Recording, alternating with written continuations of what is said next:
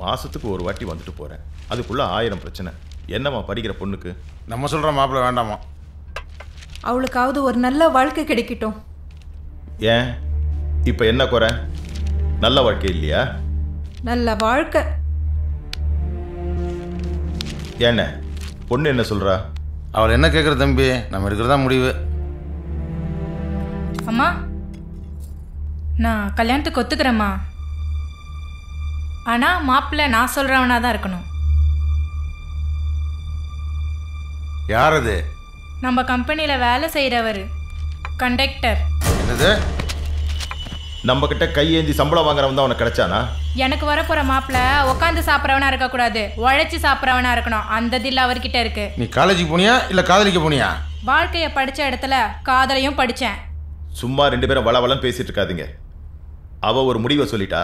நம்ம ஒரு முடிவு எடுக்க வேண்டாம்? ம் போ. போய் அந்த பையனை வர சொல்லு.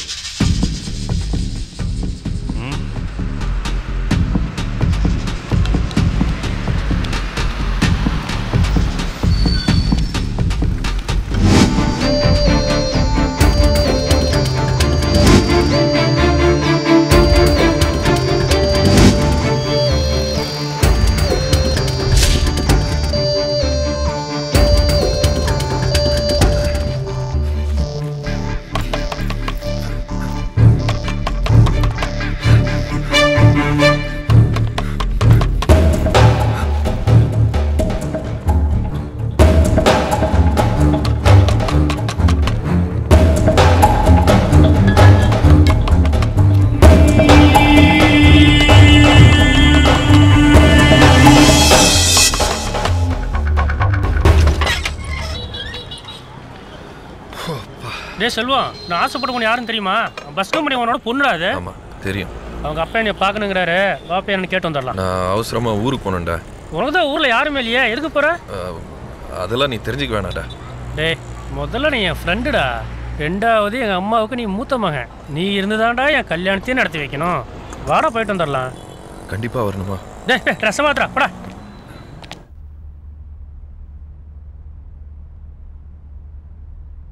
என்னண்ணே தம்பி அந்த பையன் வந்திருக்கான். வீட்டுக்குள்ளே வர சொல்லட்டுமா? வேண்டாம்.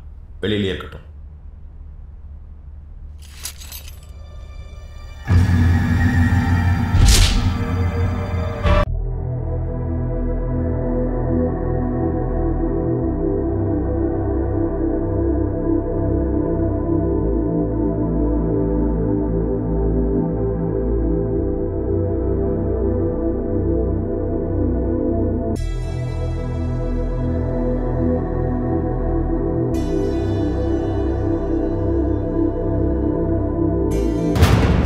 தம்பி நான் வந்து குட்டையான பையனை கை காட்டினா நீ வந்து உயரமான பையில போய் பார்த்துட்டு இருக்க நான் ரெண்டு பேரையுமே பார்த்தேன்.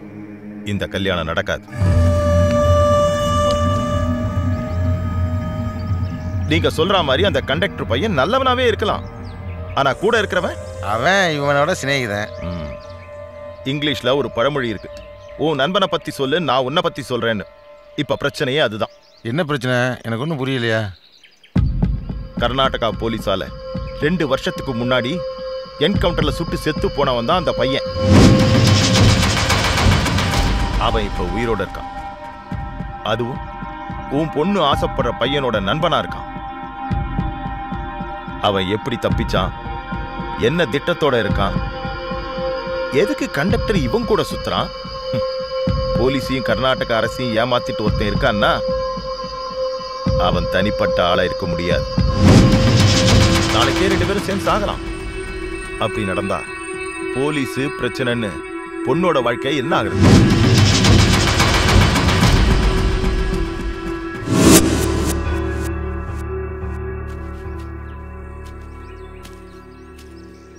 இந்த போட்டோல இருக்கிற ஆளை பார்த்துருக்குறீங்களா?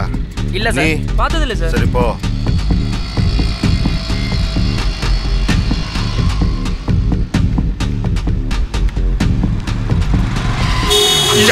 ಜೋರ ಕಾರನ್ ಮಾಡಿ ಅದು.